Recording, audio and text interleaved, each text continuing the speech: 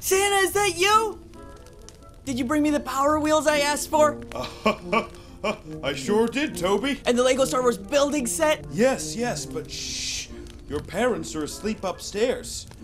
And if you wake them, you won't get to come to the North Pole with me. You'd like that, wouldn't you? You see, every boy that sees my face gets a grand tour.